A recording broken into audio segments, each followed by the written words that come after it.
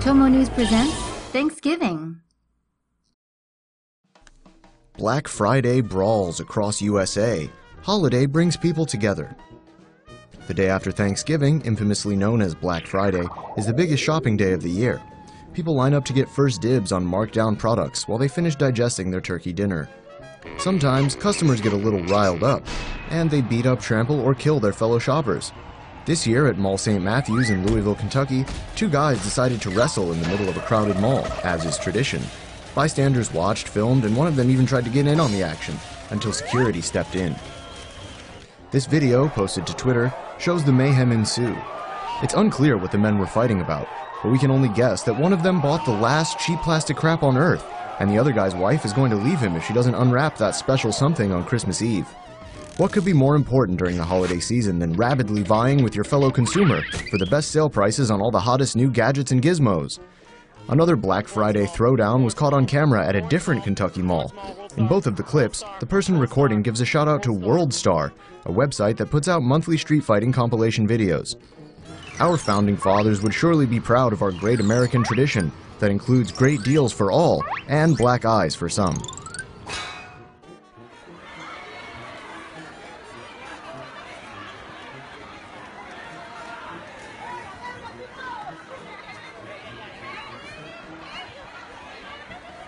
And the hits just keep on coming, like this footage from Texas where a mob of people struggle to find meaning in their lives by getting a killer deal on a flat screen TV. Happy holidays. Grandma texts wrong number about Thanksgiving, still invites teen. Like many of us have experienced, 17 year old Jamal Hinton started receiving text messages from a wrong number. But rather than just move on, he decided to try to make a connection instead with the sweet grandmother who misdialed him. Earlier this week, Jamal found himself looped into a group chat, getting texts from an unknown number about Thanksgiving dinner. When he asked who it was, the person replied, Your grandma. When he asked for a picture, the woman sent him a selfie of her while she was at work. Jamal quickly realized it wasn't his grandma, but decided to have some fun with the mix up and sent her a selfie too. He then took things a step further, boldly asking if he could still have a plate at her family Thanksgiving meal. In classic grandma style, she replied, Of course you can. That's what grandmas do feed everyone. What a nice lady. The woman, Grandma Wanda, was actually trying to reach her grandson, Brandon. Now he, his girlfriend, and Grandma Wanda are talking with Jamal about actually having him over for Thanksgiving dinner at their Arizona home. He's easily the coolest tag-along guest at anybody's Thanksgiving this year. Unfortunately for Grandma Wanda, when screenshots of the exchange began circulating on Twitter, her phone started blowing up with random requests for seats at her dinner table, so she had to have her number changed. Sorry, Internet, there's only room for one more. God bless you, Grandma. Dog missing for a year reunites with family at Thanksgiving. This German Shepherd mix, Ruby, had the best Thanksgiving of all. In October 2015, Ruby went missing. Only seven months old at the time, the puppy's owners say a neighbor had left the gate open. The couple posted flyers around the neighborhood, searching everywhere for their lost dog, but there was no trace of her. The wife, Zana, was eight months pregnant, and she and her husband Val inevitably had to refocus their attention on their new baby. Over a year later, Zana was scrolling through photos on a Sacramento Animal Shelter's Facebook page when she spotted a familiar face. Upon closer inspection, the resemblance was unmistakable. They could tell by the way she turned her head that was their girl Ruby. The couple immediately ran to pick her up, and just in time for Thanksgiving, the family reunion was complete. A newborn baby and their young canine companion in tow, Zana and Val have never had so much to be grateful for. Black Friday mugger kicks bomb with baby. While armies of bargain hunters were choking and stabbing each other for cut price goods on Black Friday, this guy was out in the street looking for soft targets.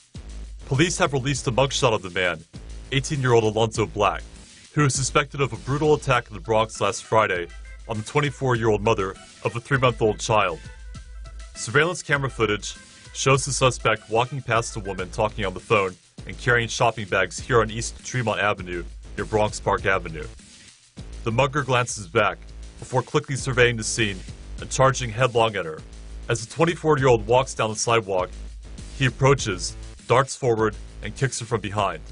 The attacker runs off with her phone as she writhes in pain on the pavement. What the video doesn't clearly show, however, is the infant strapped to her chest. The mother managed to protect the child from hitting the concrete as she fell to the ground. Both were treated for minor injuries and are okay. The suspected phone thief, who's already clocked up 11 arrests, remains at large. NMA celebrates Black Friday History Month.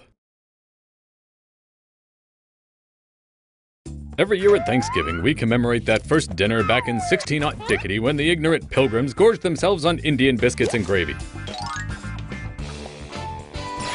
But what about the first ever Black Friday?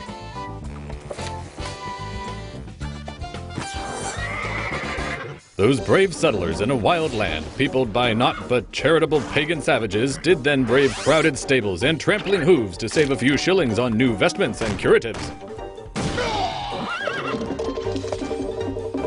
It was a harrowed time where none but the hardiest souls could endure the butter churn sales and wage battle most grim for specials on items usually left fallow in more lavish times.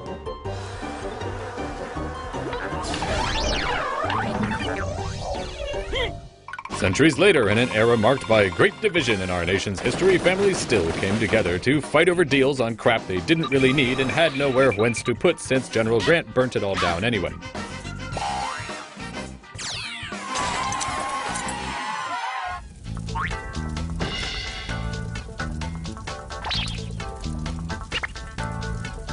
Even into the Great Depression, Americans still honored Black Friday tradition after giving thanks for cream of gristle and logged ham.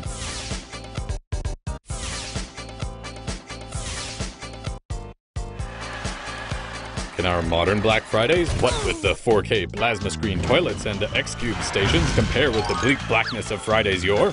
Refund your dinner in the comments.